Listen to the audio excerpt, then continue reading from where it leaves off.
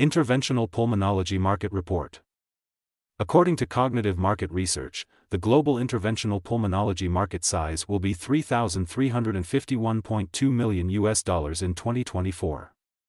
It will expand at a CAGR of 9.7% from 2024 to 2031. North America interventional pulmonology market size of 1340.48 million US dollars in 2024 and will grow at a CAGR of 7.9% from 2024 to 2031.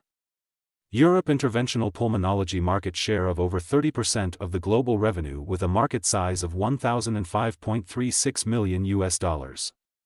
Asia Pacific interventional pulmonology market size of 770.78 million US dollars in 2024 and will grow at a CAGR of 11.7% from 2024 to 2031.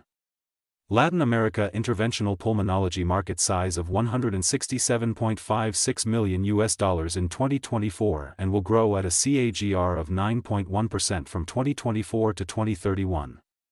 Middle East and Africa interventional pulmonology market size of 67.02 million US dollars in 2024 and will grow at a CAGR of 9.4% from 2024 to 2031. Access the free sample copy to know the market dynamics, competitor analysis, regional analysis, country analysis, segment analysis, market trends, technological trends, SWOT analysis, and more.